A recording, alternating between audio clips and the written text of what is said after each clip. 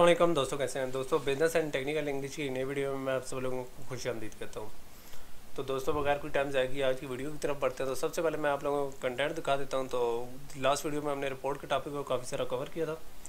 तो जो लाल में मैंने टॉपिक मार्क्स किया, वो ऑलरेडी रिपोर्ट से पहले पहले हमने कवर कर लिया। तो आज की वीडियो में हम रिपोर्ट्स में रिपोर्ट्स में भी हमने लास्ट वीडियो में रिपोर्ट्स और शॉर्ट रिपोर्ट्स दोनों कवर कर चुके हैं। ठीक है? तो आज की वीडियो में हम इस तरह करेंगे लॉन्ग एनालिटिकल और ये जो हमारी फॉर्मल या इंफॉर्मेशनल रिपोर्ट्स होती है, इनको हम कवर करेंगे इंशाल्लाह। तो नेक्स्ट वीडियो में आप जर्नल या नेक्स्ट दो वीडियोस में आप जर्नल और रिसर्च वाली या एम्पेरिकल एम्पेरिकल रिसर्च रिपोर्ट्स के बारे में थोड़ी सी बात करेंगे। ठीक है? तो आज की वीडियो हमारी ना सिर्फ़ लॉन्ग को करेगी, बल्कि एनालिटिकल और इन्फॉर्मेशनल रिपोर्ट को करेगी, ठीक है? तो बगैर कोई टाइम ज़ाया किए आज की वीडियो की तरफ़ चलते हैं, ठीक है? ये जो ब्लैक में टॉपिक्स हैं, ये हम फ्यूचर में डिस्कस करेंगे। तो आज चूँकि हमारी वीडियो का टाइटल है लॉन्ग रिपोर्ट्स तो बगैर कोई टाइम ज़ाया किया हम इस तरह करते हैं कि अपनी वीडियो की तरफ़ चलते हैं। तो दोस्तों लॉन्ग रिपोर्ट को हमने दो सब टॉपिक्स में कवर किया हुआ है, एक है प्लानिंग और दूसरा है राइटिंग यानी प्लानिंग में हम प्लानिंग करते हैं लॉन्ग रिपोर्ट लिखने की और राइटिंग में हम लॉन्ग रिपोर्ट लिखते हैं। तो सबसे पहले हम प्लानिंग की तरफ़ चलते हैं, ठीक है? Planning of long report long report planning में क्या होता है? सबसे पहले हम कोई क्वेश्चन डिफाइन करते हैं, उसके बाद हम स्टेटमेंट ऑफ़ पर्पस डेवलप करते हैं, ठीक है? इनको मैं बाद में आपको एक्सप्लेन करता जाता हूँ। उसके बाद हम आउटलाइनिंग ऑर्गेनाइजेशन रिपोर्ट की करते हैं। उसके अलावा हम वर्क प्लान बनाते हैं एंड पर कंडक्ट कंडक्ट रिसर्च या रिसर्च कंडक्ट करते हैं। और एंड पर कंक्लूजन या रिकमेंडेशन वगैरह तो इन सब की हम प्लानिंग करते हैं, ठीक है? तो अब हम बगैर कोई टाइम जाए किए सबसे पहले तो हम चलते हैं कि डिफाइनिंग क्वेश्चन की तरफ़। ठीक है? तो डिफाइनिंग क्वेश्चन से क्या मुराद है? ठीक है? जो शख्स आपको रिपोर्ट के लिए थ्राइज कर रहा है, वो आपको कुछ क्वेश्चन देते हैं कि आपने क्या करना है, ठीक है? कौन सा इशू इंपॉर्टेंट है? इस सिचुएशन में क्या क्या इन्वॉल्व होगा? जब अगर कोई ट्रबल हो रही है तो कौन सी लोकेशन पर ट्रबल हो रही है, ठीक है? और कहाँ से ये सिचुएशन स्टार्ट हुई थी?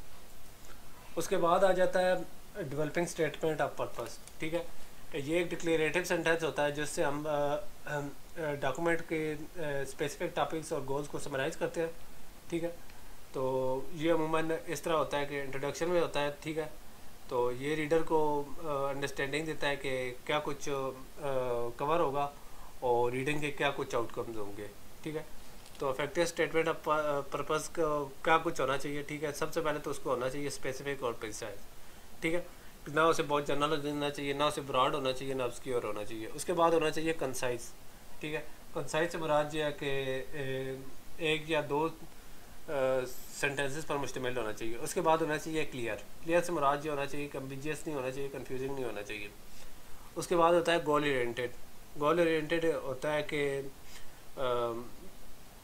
हमारी हमारी क्या आउट आउटकम्स हैं, उसके हिसाब से उन टर्म्स में स्टेट किया जाता है। उसके बाद होती है हमारा जो तीसरा पार्ट है, ठीक है प्लानिंग लॉन्ग रिपोर्ट की प्लानिंग का। वो है आउटलाइनिंग एंड ऑर्गेनाइजिंग रिपोर्ट्स ठीक है?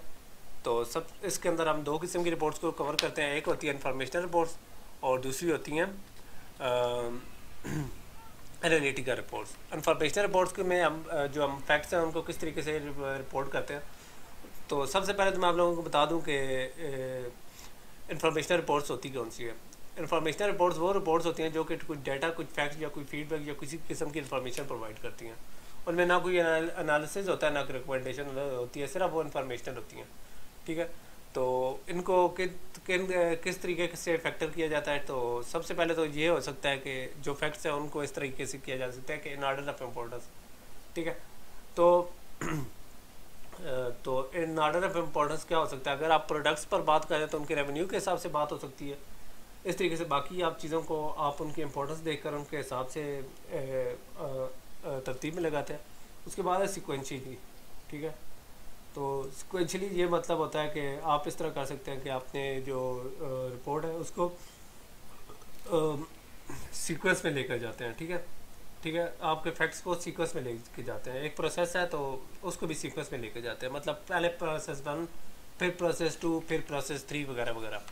उसके बाद होती है क्रोनोलॉजिकली या क्रोनोलॉजी ठीक है? तो इसमें इस तरह होता है कि अगर बहुत सारे इवेंट्स हैं, ठीक है? तो उसमें इस तरीके से किया जाता है कि जो इवेंट सबसे पहले हुआ होता है, हम उसको सबसे पहले डिस्कस करते हैं और इस तरीके से तरतीब से करते हैं, ठीक है? तो उसके बाद है स्पेशली तो स्पेशली का मतलब यह है कि अगर हम किसी ऑब्जेक्ट को फ़िज़िकल ऑब्जेक्ट को डिस्कस करें तो उसके ऊपर नीचे राइट लेफ़्ट टॉप बॉटम या इनसाइड आउटसाइड से हम करते हैं। उसके बाद आती है जियोग्राफी जियोग्राफी से मराज यह है कि अगर आपकी लोकेशन का, आपकी रिसर्च में इंपॉर्टेंट है तो आप उसको जियोग्राफिकली स्टडी फैक्टर कर सकते हैं. उसके बाद है कैटेगोरिकली ठीक है? तो कैटेगोरिकली मराज यह है कि अगर आपको एक ही एक ही सब्जेक्ट के सेवरल डिस्टिंग एस्पेक्ट को कवर करना है या रिव्यू करना है, ठीक है? तो आप वन बाय वन एक एक को करके, यानी कैटेगरी वाइज करेंगे, ठीक है? One category at a time करेंगे, फिर दूसरी मतलब सेल्स होगी प्रोडक्ट्स की प्रॉफिट हो गई या इन्वेस्टमेंट वगैरह। तो ये थी हमारी इंफॉर्मेशन रिपोर्ट्स ठीक है? उनकी आउटलाइनिंग और ऑर्गेनाइजिंग उसके बाद आती है हमारी एनालिटिकल रिपोर्ट्स तो एनालिटिकल रिपोर्ट्स क्या होती हैं? उनमें सिर्फ़ इन्फॉर्मेशन नहीं होती, बल्कि एनालिसिस या रिकमेंडेशन भी कुछ केसेस में होती हैं। तो तो सबसे पहले तो देखते हैं कि हम एनालिटिकल रिपोर्ट्स में डिवीज़न किस तरीके से करते हैं। तो हम एक टॉपिक को एक कम अज़ कम दो पार्ट्स में, दो से ज़्यादा पार्ट्स में डिवाइड करते हैं, ठीक है? और उनको डिवीज़न की जो बेसिस या बायसेस होती हैं, उनको बड़ा यूज़फुल तरीके से करते हैं, ठीक है?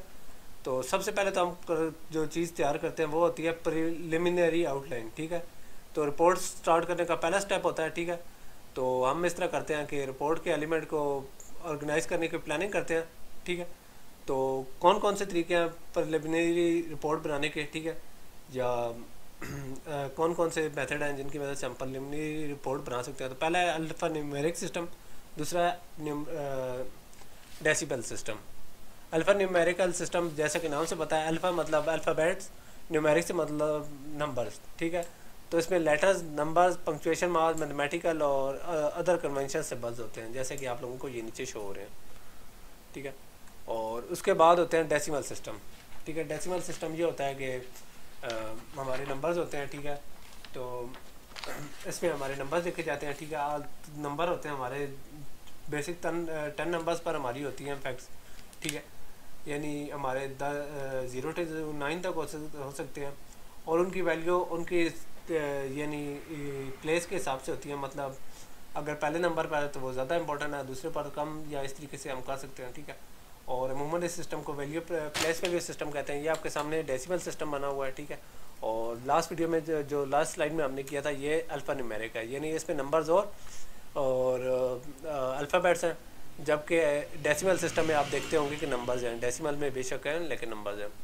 तो उसके बाद जो चौथा पार्ट है वो है प्रिपेयरिंग वर्क प्लान ठीक है?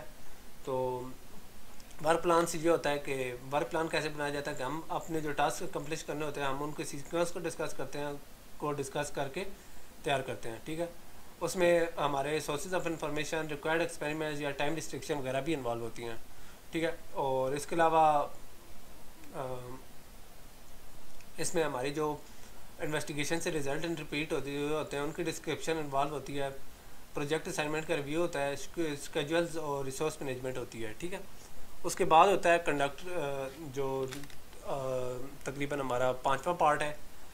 प्लानिंग लॉन्ग रिपोर्ट की प्लानिंग का वो है कंडक्टिंग रिसर्च यानी हम ये सारी वर्क प्लान बना के उसके बाद रिसर्च करते हैं। तो उसके कौन कौन से तरीके हैं? तो हम इस तरह करते हैं कि उसके लिए हमें प्राइमरी डेटा चाहिए होता है। तो प्राइमरी डेटा हम सबसे पहले कलेक्ट करते हैं। उसके बाद हम स्केरी डेटा या जो कुछ करना होता है वो करते हैं, ठीक है? तो ये तो प्लानिंग है। प्लानिंग में तो हम ये चीज़ें प्लान करते हैं, ठीक है? क्वेश्चन में हम क्वेश्चन पर प्लान करते हैं स्टेटमेंट ऑफ़ पर्पज़ में हम अपने स्टेटमेंट बताते हैं, और आउटलाइनिंग में हम अपनी रिपोर्ट का आउटलाइन करते हैं वर्क प्लान में हम अपना वर्क प्लान बनाते हैं, ठीक है? और कंडक्ट कंडक्टिंग रिसर्च तो इसमें सबसे पहले हम इस तरह करते हैं कि अपने डेटा कलेक्ट करते हैं। रिसर्च का जो इंपॉर्टेंट जो है वो है प्राइमरी डेटा या डेटा तो उसका तरीका ये हो सकता है कि डॉक्यूमेंट्स है सबसे पहले। डॉक्यूमेंट्स से मुराद, यानी हमारी डॉक्यूमेंट्री एविडेंस या हिस्टोरी का रिकॉर्ड ठीक है?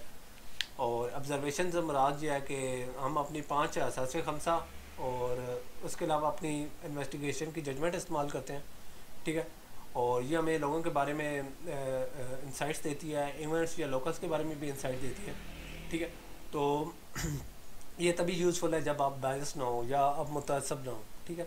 उसके बाद है सर्वेज ठीक है? तो हम रेलिवेंट भी लोगों से रेलिवेंट एक्सपीरियंस और ओपिनियन के लोगों से हम सर्वे करते हैं, ठीक है? क्वेश्चन क्वेश्चन करते हैं, ठीक है? तो इसमें हम पता करते हैं कि लोग एक ख़ास कम्युनिटी के, एक ख़ास किस्म के लोग किसी चीज़ के बारे में क्या सोचते हैं? ठीक है? तो सर्वे में भी हमें बहुत सारे डिसीज़न लेने पड़ते हैं, ठीक है? तो उसके बाद है जो लास्ट पार्ट है, वो है ड्रा कंक्लूजन एंड रिकमेंडेशन ठीक है? तो इसमें ये हमारी जो प्लानिंग का है, उसका लास्ट पार्ट है, ठीक है? तो इसमें हम इस तरह करते हैं कि प्लानिंग करते हैं कि हमने किस तरीके से इन्वेस्टिगेशन को रिपीट करना और रिसर्च को, ठीक है? और हमने अपने जो एंड रिज़ल्ट हैं, उनको किस तरीके से डिस्क्राइब और रिकमेंड करना है। तो ये तो था हमारा part planning of long reports ठीक है? तो अब मैं इस तरह करता हूँ कि इसके दूसरे पार्ट की तरफ़ चलता हूँ, जो क्या है राइटिंग ठीक है? तो राइटिंग की तरफ़ चलते हैं कि रिपोर्ट को राइट कैसे किया जाता है तो बगैर कोई टाइम जाएगी राइटिंग की तरफ़ चलते हैं। तो सबसे पहले बात कर लेते हैं रिपोर्ट प्रोडक्शन पर, ठीक है? तो रिपोर्ट प्रोडक्शन से ये होता है कि हम रिसर्ची रिसर्च करते हैं, ठीक है, अपने आइडियाज़ को ऑर्गेनाइज करते हैं, कुछ विजुअल एड्स भी बनाते हैं और कुछ टेक्स्ट वगैरह भी ड्राफ्ट करते हैं। ये काफ़ी टाइम ये काफ़ी टाइम डिमांडिंग डिमांडिंग और कंज्यूमिंग टाइम कंज्यूमिंग टास्क है, ठीक है इन पर हमारा काफ़ी टाइम और लगता है और काफ़ी लेबर होती है, ठीक है। और काफ़ी ज़्यादा मरतबा हम उसको एडिट भी करते हैं, ये एडिट करते हैं, तब जाके हमें एक पॉलिश वर्जन मिलता है अपनी रिपोर्ट का। ठीक है तो अब हम बात कर लेते हैं कि अपनी रिपोर्ट को कंपोज किस तरीके से करना है। तो आ, हमारी जो प्रोफेशनल रिपोर्ट्स होती हैं ठीक है तो वो बताती हैं कि हमारा सब्जेक्ट कितना इंपॉर्टेंट है ठीक है। तो फार्मर रिपोर्ट की काफ़ी सारी फॉर्मेलिटीज़ होती हैं उसके अलावा एडिशनल भी डाटा होता है और हमारी कुछ रिक्वायरमेंट्स भी होते हैं जिन्हें कंप्लीट करना होता है। तो लॉन्ग रिपोर्ट को तीन हिस्सों में डिवाइड किया जाता है prefatory parts body of report और सप्लीमेंट्री पार्ट्स ठीक है? तो परफेक्ट्री पार्ट्स तो पर पहले बात कर लेते हैं। परफेक्ट्री पार्ट्स तो आ, आ, में हमारा जो सबसे पहले टाइटल फ्लाई आ जाता है ठीक है? हमारा टाइटल होता है। उसके बाद टाइटल पेज हो सकता है। उसके बाद लेटर ऑफ़ ऑथराइजेशन हो जाता है ठीक है? और ये चीज़ें मैं लेटर्स में कवर कर रहा हूँ। अगर आप लोगों को समझ नहीं आ रहा तो आप लेटर्स में देखेंगे। डिफरेंट टाइप हैं ठीक है? और लेटर ऑफ़ ट्रांसमिटल है ठीक है, ये कवरिंग लेटर भी होता है अथराइजेशन वो लेटर होता है जिसमें अथराइज होता है। उसके बाद टेबल ऑफ़ कंटेंट्स है, उसके बाद प्रीफेस जिसे हम इंट्रोडक्शन या प्रीएमेबल भी कहते हैं। तो सबसे पहले हम बात कर लेते हैं कि जो हमारा टाइटल फ्लाई है, ठीक है? तो ये हमारी प्लान शीट होती है, जिसमें सिर्फ़ रिपोर्ट का टाइटल होता है, ठीक है? तो उसके बाद जो टाइटल पेज है, उसमें हमारे चार किस्म की इन्फॉर्मेशन होती है, ठीक है? तो वो कौन कौन सी इन्फॉर्मेशन होती है? टाइटल ऑफ़ रिपोर्ट ठीक है? और उसके बाद हमारा जो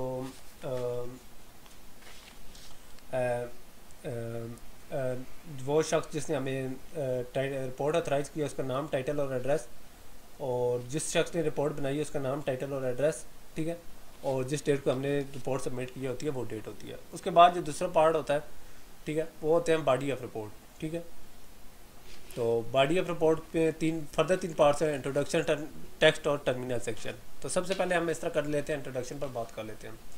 इंट्रोडक्शन हमारे कंटेंट को समराइज करता है, ठीक है? तो किस तरीके से करता है, वो हमारी रिपोर्ट का पर्पज़ डिस्क्राइब करता है। उसके बाद जो हमारे मेन आइडियाज़ एक्सप्रेस्ड हैं, उनका ओवरव्यू देते हैं। तो इसके कौन कौन से फ़ंक्शन करता है, ठीक है? तो ये हमारे ऑथराइजेशन का भी काम करता है। Scope background sources and methods और डेफिनेशन लिमिटेशन और रिपोर्ट ऑर्गेनाइजेशन का भी काम करता है। उसके बाद जो दूसरा पार्ट है, वो है टेक्स्ट ठीक है बॉडी का, ठीक है? तो ये हमारी रिपोर्ट की एक्चुअल डिटेल होती है, ठीक है? तो ये हमारे, ना सिर्फ़ रिपोर्ट का मेन पार्ट होता है, बल्कि हमारी भी रिपोर्ट का क्रूशल पार्ट होता है टेक्स्ट हमारा मेन चीज़ होती है, ठीक है? तो ये हमारे मेजर सेक्शंस पर, हमारे चैप्टर्स पर मुश्तमिल होता है, ठीक है? जो कि हमारे मटेरियल को, हमारी इन्वेस्टिगेशन के रिज़ल्ट के तौर पर इंटरप्रीट करते हैं। उसके बाद है हमारा ये चीज़ है कि हमारा जो कंटेंट है, हमारी जो कंटेंट की ऑर्गेनाइजेशन है, जिस तरीके से हमने उन्हें मरबूत किया हुआ है और हमारी लैंग्वेज और हमारा स्टाइल और जो हम विजुअल एड्स एडिशनल डालते हैं, वो भी हमारी आइडियंस के मुताबिक होने चाहिए। ठीक है? तो बॉडी ऑफ़ रिपोर्ट का जो तीसरा पार्ट है, वो है टर्मिनल सेक्शंस ठीक है? टर्मिनल सेक्शन में ये होता है कि हम ये टर्मिनल जैसे कि नाम से पता है टर्मिनल तो ये टर्मिनेट हो रहा होता है तो यानी जो हमारा प्रोग्राम है टेक्स्ट का ठीक है? बॉडी ऑफ़ रिपोर्ट का टर्मिनल सेक्शन है। ठीक है? यानी हमारी रिपोर्ट का टर्मिनल सेक्शन नहीं बॉडी का, ठीक है? तो उसमें तीन चीज़ें चंद चीज़ें हो सकती हैं। मतलब हमारे हो सकते हैं समरी हो सकती है कंक्लूजन हो सकती है रिकमेंडेशन हो सकती है। समरी जो होती है कि हमारी इन्वेस्टिगेशन की फाइंडिंग को समराइज़ किया जाता है और कंक्लूजन हमारा ये होता है कि हम फैक्ट्स को इंटरप्रीट करते हैं, ठीक है? तो ये अनबायस्ड होने चाहिए और रिकमेंडेशन में हम कुछ एक्शन रिकमेंड करते हैं। उसके बाद जो हमारा रिपोर्ट का तीसरा पार्ट है, वो है सप्लीमेंट्री पार्ट्स उसका भी हमने फर्दर तीन चीज़ों में तीन पार्ट्स में कवर चार पार्ट्स में किया हुआ है। अपेंडिक्स बिब्लियोग्राफी ग्लासी और इंडेक्स वगैरह में। ठीक है? तो सबसे पहले हम बात कर लेते हैं अपेंडिक्स वगैरह की। ठीक है? तो अपेंडिक्स की बात ये है कि आप अपने टेबल्स डाल सकते हैं पिक्टो पिक्टोरियल्स डाल सकते हैं ग्राफ चार्ट या कुछ एडिशनल इन्फॉर्मेशन डाल सकते हैं। बिब्लियोग्राफी में हम इस तरह कर देते हैं कि अपने सोर्सेज बताते हैं कि कहाँ से हमने डाटा किया कलेक्ट किया, कौन सी बुक्स थी हमारी, कौन सी न्यूज़पेपर से, कौन सी मैगजीन थी, कौन गवर्नमेंट पब्लिकेशन या स्टेटिस्टिकल डिपार्टमेंट है, ताकि हमारी जो रिपोर्ट है या जो हमारी रिसर्च है, वो थोड़ी अथेंटिक लगे।